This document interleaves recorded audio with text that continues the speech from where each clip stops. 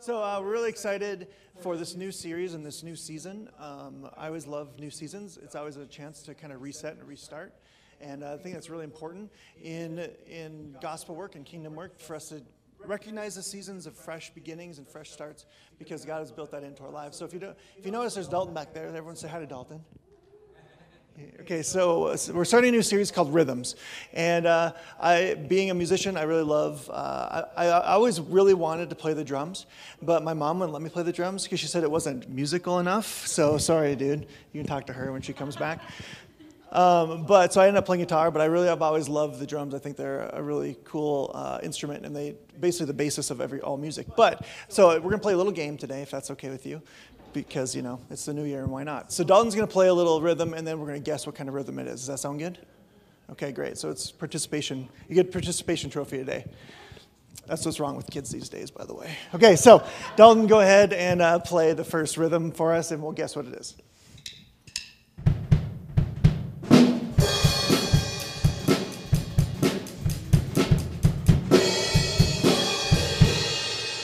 Okay, what kind of beat is that? Anyone know what kind of rhythm that is? What kind of beat that would be? You have to guess. What kind of beat?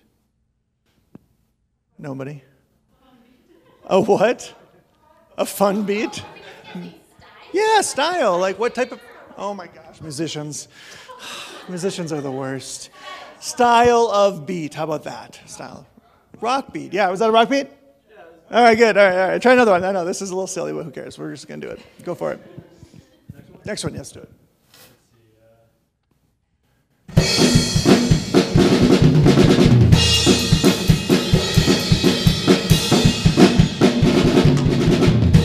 Well, that was awesome. I like that beat. All right, what was that beat? That's a, was that a punk rock beat? Close enough.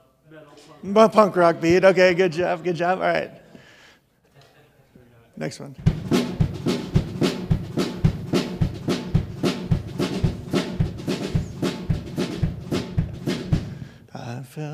Into a burning ring of fire. Okay, what how about that beat? That's a that's a cash that's a cash beat. Country beat? Yeah. Yeah, yeah. I kind of drive in train country. Oh, that's the good stuff. Okay, yeah. Well, let's, train trucks and horses. All right.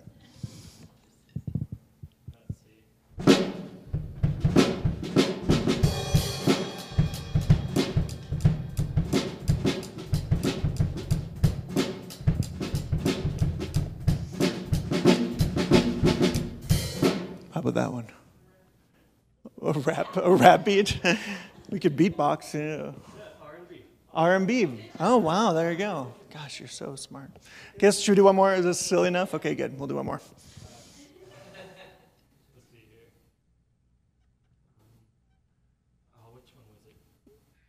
You're, you're leaving us hanging here, buddy.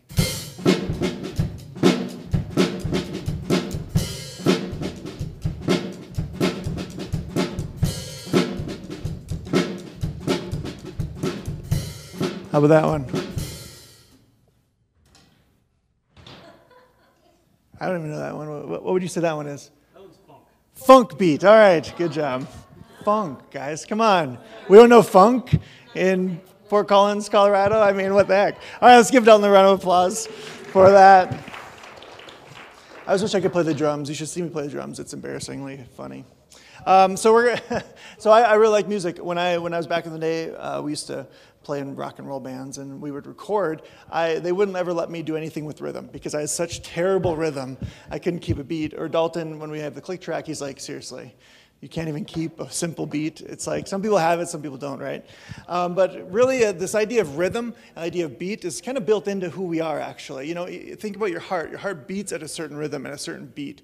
Everything we do is, has rhythm to it. The way we breathe has a certain rhythm and a certain cadence to it.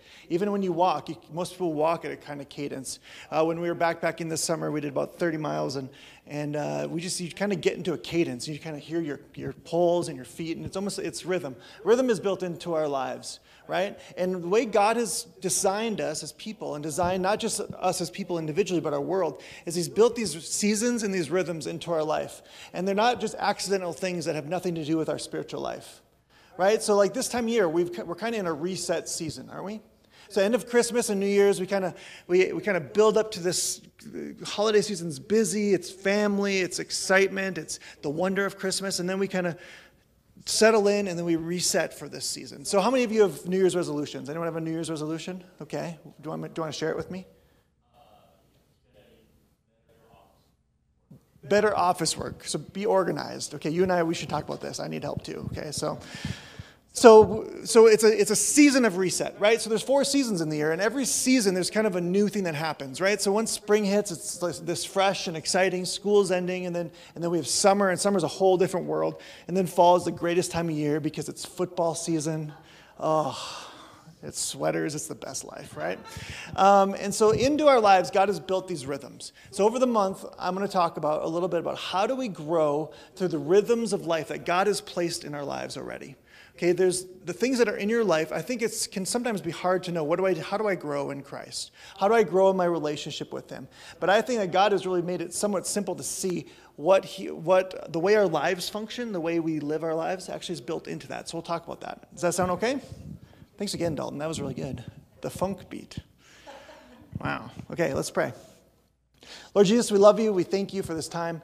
We give you this, this, this month, this year. Lord, we, we, we don't want to just have a resolution that we do for two weeks and we quit, God. We want, we want to work. We want you to work in the rhythms and the, in the cadence of our lives, God, to do more than you could, we could ever think you can do. God, we thank you that each one of us here has a plan and a purpose that's been destined since before we were born, that you've given each one of us a, a, a new identity in you. You've given each one of us gifts and talents and, and, the ability to be connected to you. So, Lord, we just ask that we would have this year, when we look back in December of this year, we would see that, man, you've done so many things, not just in what you give to us or how you bless us, but in the closeness of what it means to be with you. So, Lord, bless this time as we share your word. In Jesus' name, amen.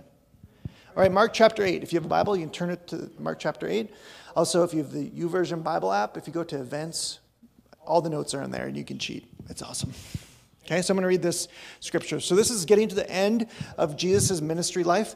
Um, this, this part of this story is found in, in two of the Gospels, and so we'll read, we'll read now. This is Mark chapter 8, 27 through 38. So Jesus, Jesus and his disciples went on to the villages around Caesarea Philippi. So Caesarea Philippi is way in the northern part of Israel. If you go there now, you'll literally touch the barbed wire fence of Syria. That's like, that's Syria. Okay, so it's way north. Okay? On the way, uh, he asked them, Who do people say I am? So he's with his disciples. And so they replied, Some say you're John the Baptist, others say you're Elijah, and still others, maybe one of the prophets. They're kind of guessing. They're trying to figure it out. But what do you say? He asked. Who do you say I am? And then Peter, who's so famously ready to do something, whether it's good or bad, right? He answered, You are the Messiah. And Jesus warned them not to tell anyone about him. So in present day Judaism, the present day Jews at that time were waiting for the Messiah to come and restore Israel. So the Roman Empire had taken over Jerusalem. Take, they basically were controlling the people, and the Jewish people were waiting for this person, the Messiah, to come and restore all peace and to bring, bring, God, bring God's work and order back to the, to the country of Israel. So Jesus says, okay, don't tell, don't tell anybody. He famously did that, which we'll talk about another time. And then he began to teach them that the Son of Man must suffer many things and be rejected by the elders, the chief priests, and the teachers of the law, and that he must be killed, and after three days he will rise again. He spoke plainly about this. And Peter took him aside and began to rebuke him. But when Jesus turned and looked at his disciples, he rebuked Peter. He said, Get behind me, Satan, he said.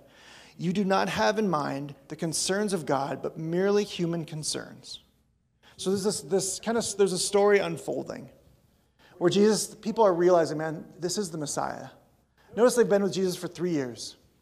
And they've seen Jesus do all these miracles firsthand. So if in your life, if you're like, I don't know about all this, I doubt a little bit here and there, you're, you're in good hands, right? You're in good company. The disciples walked with Jesus, hung out with Jesus all the time, they still were not sure at times. Okay? So finally they're like, You're the Messiah. And then he, then he went to candidly say, This is what's going to happen. So they had known prophetically that the Messiah was going to come and be born of a virgin, and they, they knew these prophetic stories through the book of Isaiah. But then they were hearing firsthand, like, this is what's going to happen right? I'm, I'm going to be rejected by the people that I've come to save.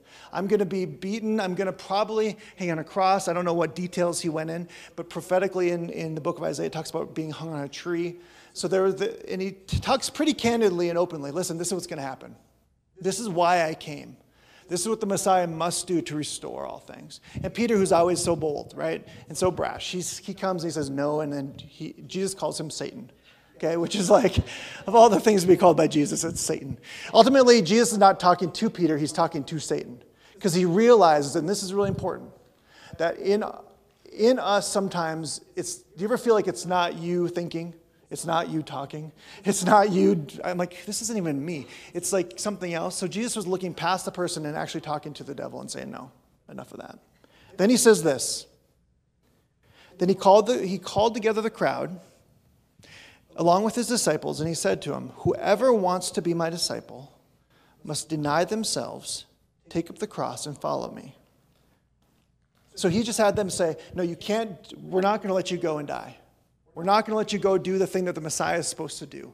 And then he says, All right, come, you want to be my disciples? You want to follow me? You want to be a disciple is basically like a little Christ, right? Someone who's just following after the, the Christ, the Messiah, the Savior. And he says, Those who want to come after me must deny themselves, pick up their cross, and follow me. For whoever wants to save their life will lose it, and whoever loses their life for me and for the gospel will save it. What good is it for a man to gain the whole world, yet forfeit their very soul? Or can anyone give, what can anyone give in exchange for their soul? If anyone is ashamed of me and my words in this adulterous, adulterous, adulterous and sinful generation, the Son of Man will be ashamed of them when he comes in the Father's glory with his holy angels. So, this is a pretty heavy duty scripture. Like when we think about being a follower of Jesus, we talk about this is the best life, it's great. But Jesus is pretty clear to be a follower of Jesus, it costs something.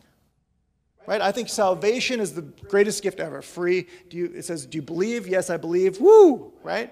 I think salvation is a very simple act. Okay? But being a disciple, that's someone who follows and shaped their life around the life of Jesus, it costs something. He says, You want to be my disciples? This is what you do. You deny yourself. You take up your cross and you follow me. See, I think sometimes we're like, I think we've made our spirituality kind of this nebulous thing. It's kind of like I believe this, and maybe I don't believe that part, and, and I, I, I want to grow, but I don't really know how. I know, like, even last year, talking about what's your yes and amen vision? What's the thing that God has put into your life? And then we like think about, yes, I want to do that, but then how do we do it? How do we, how do, we do some of these things? And Jesus makes it really clear. He says, to be my disciple, to be like me, to follow after the follow and do the things that I'm doing today in the future. This is how you do it. You deny yourself. You take up your cross, and then you follow me daily. It says in the Luke translation that you to daily do this. And so when we talk about rhythms of life, God has given us a pretty clear picture. And it's not always exactly what we want, and it's actually counter to the culture that we live in right? To deny yourself. Everything in this culture is not denying yourself.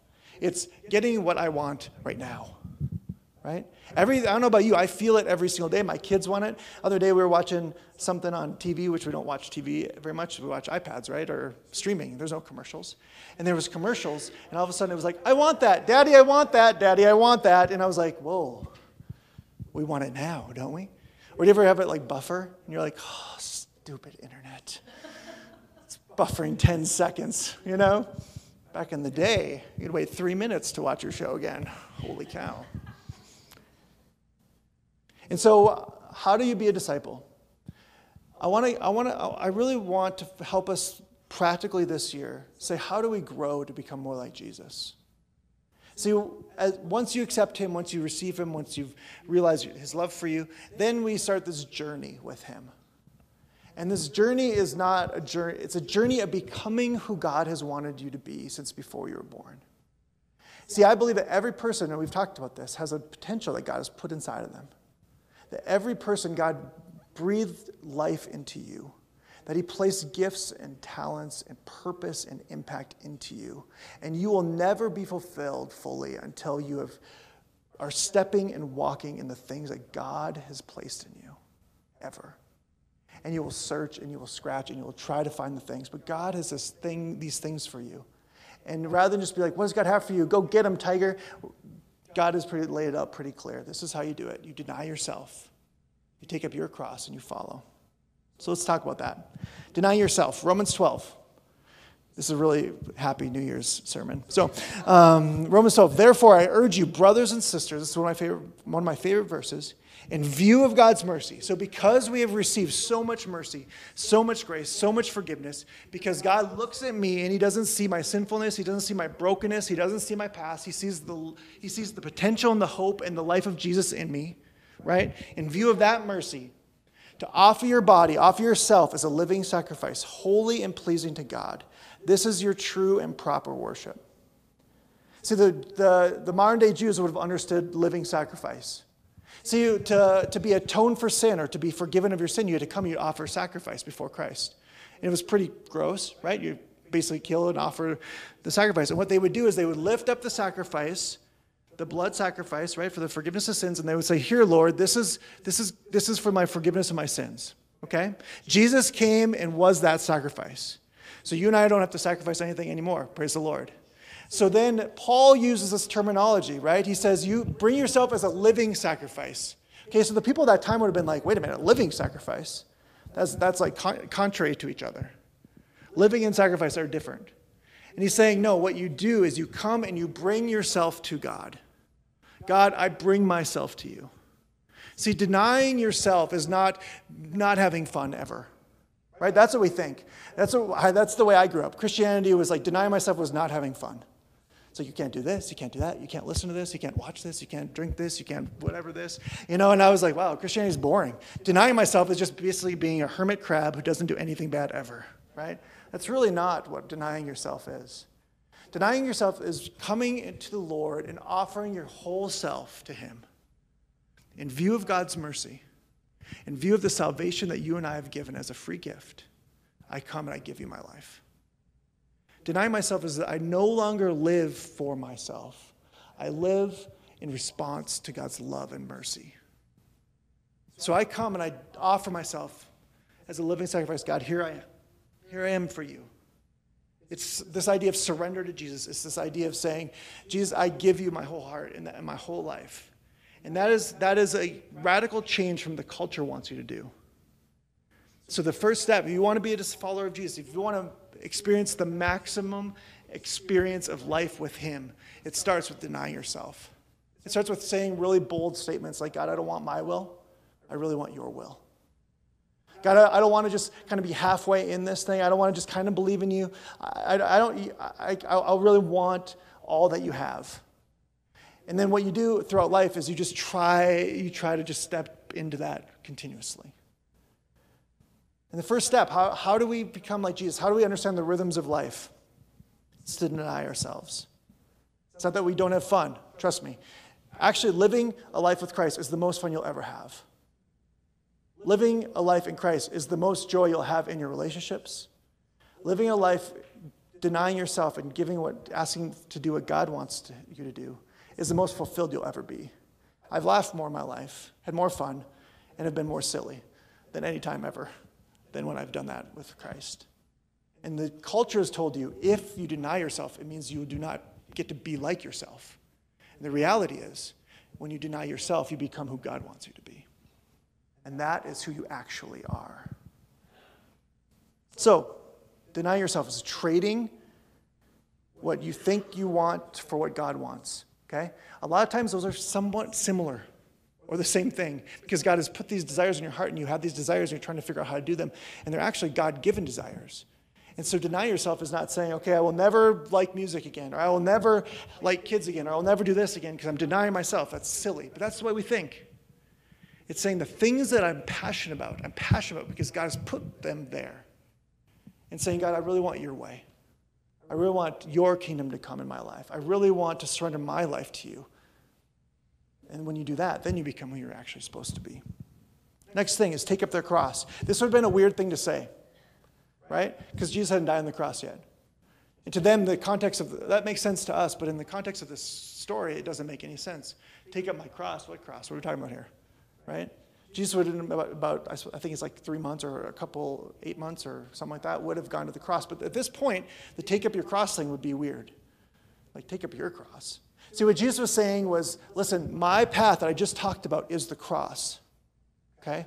You have to pick up your cross. See, the purpose for Christ coming to earth was to die and to save and restore this world, right? To, to, to glorify the Father and to restore the world, past, present, and future. And so his cross, his purpose, was to do that. God and each one of us have a cross to bear, right? And we think it's like this heavy. You ever see the guys walking on the highway with like the cross? Ever seen that, that guy? You're like, wow, that guy's hardcore. He's like, I met, we met a guy who was walking from New York to California carrying a cross. And he's like, he's taking this verse very literally. That's really good. That's, I'm proud of him. It doesn't necessarily, it doesn't necessarily mean that you carry a cross, right? It doesn't even matter. It doesn't mean that you have to die. It doesn't mean you have to sacrifice your life for the, the kingdom. It means that you have to do your purpose. Take up your cross. See, for me, my cross is not the same as your cross or your cross or your cross. The thing that you're called to do and called to become is not the same as the next person. It's uniquely designed in you. And that's the beauty of the gospel. God's going to speak to you differently, He's going to work in you differently than He's going to work in me, right? He's going to engage my heart differently than he's going to engage your heart. See, for me, I like, there's things that engage my heart that might not engage your heart. and It doesn't matter. It's not I'm better or you're worse or vice versa. It's that God has placed in you something specific he wants you to be, be and become. And it's our job as we deny ourselves to say, God, I want your will, then to take up our cross, take up your own personal cross. In, in Corinthians, it says this Therefore, if anyone is in Christ, he's a new creation. The old is gone and the new is here when you're taking up the, your cross is this new identity in Christ, right? Like God no longer sees your brokenness. He sees the, the righteousness and the life of Jesus in you. It means that you have a role in the mission of Christ in this world. It means that He's given you gifts, He's given you talents, He's given you passions, He's given you leanings and desires, and you are to turn those towards the life and love of Jesus. Okay? You're, those are supposed to wrap around a kingdom mindset or a way that we're supposed to help and restore this world, help people see the life of Jesus. He's given you gifts to minister, to help reach people, to help um, do the thing that you want to do. If you have visions in your life, your gifts are probably tied to those visions, okay? And so as you deny yourself, then you take up your cross. You say, hey, this is my part in this whole thing. I'm not just like, it's just the pastor and then a bunch of people. That's not how it works. It's the body of Christ. Each person has a cross to bear, so to speak. Not the cross. But like Jesus fulfilled his purpose on the earth through the cross, so we, we fulfill our purpose on the earth through the things that he's given us. Through the passions, through the people, through the family, through whatever it is that God has put in your heart. And that is uniquely to you. And you have to figure that out. And we will help you. But you have to land there. You have to, you have to allow God to speak and to reveal and to show you what are the things that you have part in this thing. What is your role in the kingdom in this earth? And that no one can do for you. I know you're like, well, the church should do that. Like, no. The church will help equip you to do that thing. The church will encourage you to go out and get it. The church will help you to define and refine and, and speak encouragement into that. But God has to speak that into your heart. And you have to say, This is who I'm supposed to be. And it might not be a specific career, it's probably more of a person that He wants you to be. I want you to be an encouragement to whoever you meet. I want you, your, I want you to start this nonprofit or start this ministry or do this thing. Or I want you to have a, minute, a, a heart for young people. I want you to have a heart for old people. Or I want you to have a heart for those who can't get to church or whatever. It's our jobs individually to, to see and to hear the voice of God. No one can do that for you. No one can tell you, hey, I think you should be this, right? I mean, we can draw that out, but you have to land on it. What is your cross? And until, this is my belief, until you realize what my part is, and it might be seasonal, like in this season, I really feel like I just am going to pour all of my love into my kids or my neighbors or my coworkers or whatever it is. But until you land there, you will feel incomplete because you're not becoming who God wants you to be. It's not because you're bad. It's because you just haven't set, you haven't picked up your cross. You haven't seen yourself as part of the restoration story in this world. And, and when we do that individually, then it's profound what happens. And not that you aren't doing that, but that's something that no one can do for you. Nor would I want to rob you of the intimacy that God can place that into you. Because God has shown me things that He wants me to become. And when God shows, shows that to me, no one can take that away. No one can make me question because God said it. I've, I've given my heart and my life to Him. Now, God, what would you have me do? What's, what's, my, what's, my, what's my role in the cross? How do I carry that? My prayer for you this year is just that you would see yourself in this story more and more. That you would see yourself as the redemptive work to your office, to the redemptive work to the people around you. And no one can initiate that for you. And all God has ever wanted to do is tell you those things. All God has ever wanted you to do is to partner with you to see His love go to the people around you. And it starts by denying yourself. Lord, my own agendas, my own plans, this is scary, trust me. My own ambitions, my own goals to the future, my own whatever I think I want to have, I'm just going to give those things to you. And that step of faith will dramatically change your life. He doesn't take those things away, but what he might do is he might realign the priorities of those things. And then when you and I can pick up our cross, we can pick up our portion in this world, then we can see some profound things happen. See, as a church, we've decided to not be very busy, to not have a lot of things. Hey, every Tuesday, Thursday, Wednesday, come to church and do this thing. No. That's how you sound if you do that because I just really believe that our job is not to keep Christians busy. Our job is to be the redemptive work to the people around us. And whether you've been a follower of Jesus for five minutes or 500 years, or whether you think you believe 20% or 100%, God will not choose to skip you. You believe 5%, He's good with 5%. Just keep giving your life to Him. And we, we will never reach our potential as a church until we do that. And so many of you do that. This isn't like a coming down on you thing. But I know in my life I've never been fulfilled until I've realized what God has for me next and what my role in the cross is to be. And then the last part's really cool. So he says, Deny yourself, take up your cross, and follow me. Oh, that's such good news, just so you know, guys. What does that mean?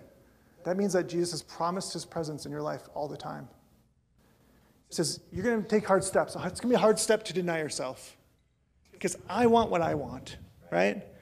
I have, we have, as humans, this thing called selfishness, and it kind of wants to run the show, right? And if you, if you don't, then you're prideful. Just thought I'd say that. But the, then you're going to take up your cross. That's going to be scary too. Like, oh my gosh, this is what I have to become. This is who I have to, I have to be like Jesus. I have to maybe try to be more light than dark. I got, you know, these things that we talk about doing. But then he promises this thing follow me. That means that I will be with you. I will be with you. I will model for you. I will speak to you. I will whisper you. I will partner with you to help you become who I want you to be.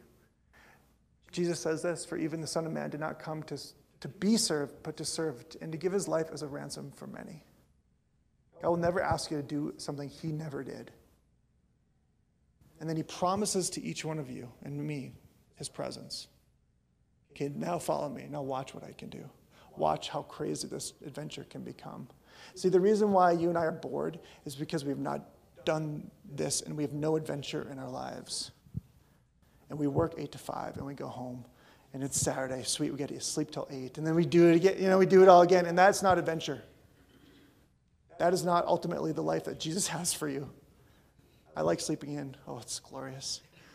I'm not saying you won't, but I'm saying like the, the, the, the rhythm of the world is not the adventure that God has for you. Romans 12 says this, then we're going to close. It says, Do not be conformed to the pattern of this world but be transformed by the renewing of your mind. Then you'll be able to test and approve what God's will is, his good, pleasing, and perfect will. So, the, literally, the pattern of this world is the rhythm of the world, the cadence of the world. And the cadence of the world outside of Christ typically is whatever I want, I want, and I, I want to get. And I will take and I will keep and I will Uh, serve me, help me, make my life easier, right? And the, way, the pattern of Christ is the opposite. How can I serve you? How can I help you? How can I give to you? And it's a selfless way of living. And God says, do not be conformed to that pattern, but be transformed by a new pattern. That means we set a new beat in our life, a new cadence in our lives. If I'm going to deny myself, take up my cross, and follow Him daily as, as a discipline, it requires different cadence. It requires different rhythm. Again, these are invitations from God, not requirements. God will not love you any more or any less if you choose to do these things or not, right? His son died for those who love and hate him. He still died. And so these are invitations. The beauty of the cross is not a mandatory requirement of God's favor in your life, but an invitation to God's presence more and more. So we're going to talk about this over the next month. Here's a couple things we're going to talk about. How, how do we, in the cadence of our days, our weeks, our months, and our year, shape our lives around the life of Jesus? Not just, hey, go get him this week, guys. God loves you, right? But what do we do daily? What do we do weekly? What do we do monthly? And what do we do yearly to help us to live out? I want to be a disciple of Jesus. I want to be someone who's living an impactful life. I want to be shaped into who God was wanting me to be since the beginning of time. So for the next month, we're going to talk about this. So you can put up the daily. So there's things daily, daily rhythms. Okay, daily rhythms. These are invitations. There's going to be weekly rhythms that God has placed in our life. And actually, some things are really natural part of our, our weeks. There's going to be monthly rhythms. Good job, Joel. That are a part of how we grow and develop. And then there's going to be yearly rhythms that are going to be part of how we grow and develop. So, we're going to, so as a church, some of these things we're going to help facilitate. Okay? Some of these things are your own decisions you have to make, and my own decisions. This idea that the American church has become this kind of like, come and make me, help me do everything in my faith walk is never the desire of the church or the design of the church. The church is to take your walk with Jesus and help strengthen it together and help strengthen it out there to equip the saints, the saints of Jesus Christ, to do the work of the ministry and to encourage each other in that. So, in our daily, weekly, monthly, and yearly rhythms that God has already placed in your life, okay? It's not going to be that hard. It's not going to be that foreign, like, okay, I got to reschedule my whole life, right? I got to, like, we can't do soccer anymore because I got to do these things. It's like, no, these are to be part of your life things. It's going to help you see them. I'm to help give you a roadmap so that you can know, okay, how am I doing? Am I growing? Am I experiencing God? Am I becoming who God wants me to be? Because if you're not moving forward, you're becoming complacent, and that's not the life that Jesus has for you, and that is no adventure, and it actually will rob you of your joy.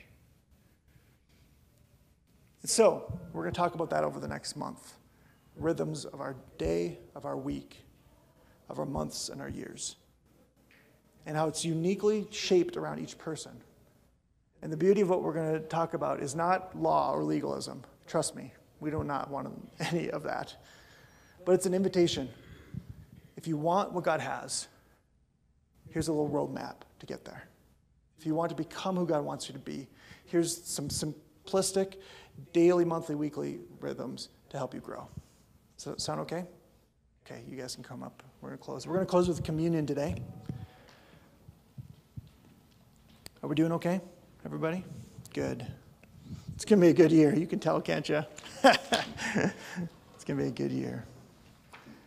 I want to read that last verse because uh, it's been uh, kind of haunting me over the last uh, three to three months or so. Uh, you ever read a verse and it kind of like sticks with you? kind of like almost like haunts you. Like you think about it regularly, you're like, oh. You ever have a verse that kind of like rubs you a little bit? You're like, oh, that verse is kind of tough. You know that if that happens, if you're like, I don't know if I like that verse, I don't know how I feel about that one, or this one keeps coming to my brain, if that happens, that is the Holy Spirit talking to you, saying, hey, I want you, there's something here I want you to experience. Something here I want you to remember. And this is the verse that's haunted me. It says, we read it earlier. It says, Whoever wants to save their life will lose it. And whoever loses their life for me and for the gospel will save it. For what good is it for someone to gain the whole world, yet forfeit their soul? Or what can anyone give in exchange for their soul? See, I used to think that verse meant like eternity. Like, oh my gosh, my soul's going to burn, or however we want to say it. And it's not, I don't think. It's about how you live this life. And I've, it's been haunting me because I feel like sometimes in my rhythms my life, I'm like, if I do not do the things that God has asked of me, if I do not follow the path that He has for me, if I do not experience all that He has for me, I ultimately will forfeit my soul. I won't go to hell, right? But I'll, I will forfeit the most precious thing that I have in my life, and it's who I am in Christ. I won't become who God wants me to be, and I will actually forfeit the very things that God has for me. And that is terrifying. See, if in your home and your, if you don't spend time with your wife and you don't hang out with your kids, you don't invest in them, you forfeit your family, right? If you like eat chips all the time like I do, or you don't exercise, you forfeit your health. And if you do not experience God's love and walk with Him, you forfeit your soul.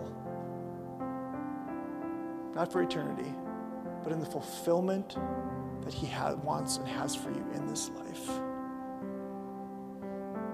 So I just, this is a great day just to reset our hearts, to resurrender. We're going to take communion now, and just as I sing, you'll be able to come up and just sit down and take it. You don't have to be part of this church. I don't even think you have to be a follower of Jesus to take communion. It is the invitation to the world that Jesus died for you loves you. And so uh, we're gonna, I'm going to pray and uh, you can take communion or take it and sit down and take it as you feel like you want to, but use it as an opportunity to say, Lord, I give you my heart again. Your body and your blood was shed and broken for me.